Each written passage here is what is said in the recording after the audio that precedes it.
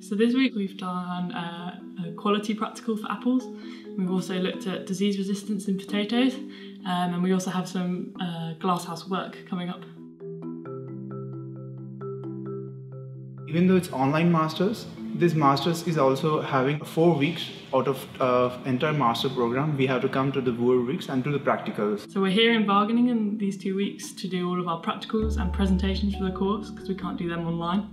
Um, so we're doing a range of practicals and meeting everybody and it's so far been really good. Uh, we're doing some lab work, we're doing some phenotyping of different plants, we visit different institutions of Wageningen. The first time I had to go to the Wageningen University I was very nervous because we were talking online for almost a year and this was the first time we would met so I was nervous but really excited when I finally met everybody. This is our second year here and uh, it's just good to see everyone. You spend so much time talking online and helping each other out so it's good to come and see how everyone's been getting on and see what they've been up to in their life as well.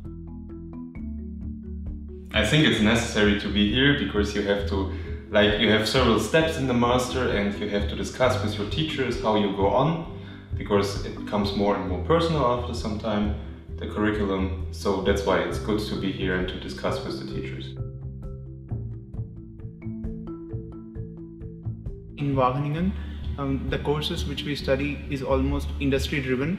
It's like it's completely applied science. Plant breeding it's a practical way how we do deal with nature and it is, um, I would say, it really has a huge influence how humankind develops.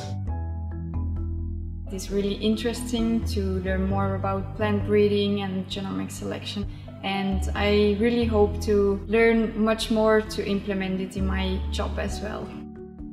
It's nice to meet the fellow students, it's nice to meet the lecturers, yeah, and it's also interesting to see what's going on here in Wageningen. It's really fantastic to see everyone on the course because we spend a lot of time talking online and helping each other and doing group work. We all get on quite well, so there's a lot to catch up on in life and work.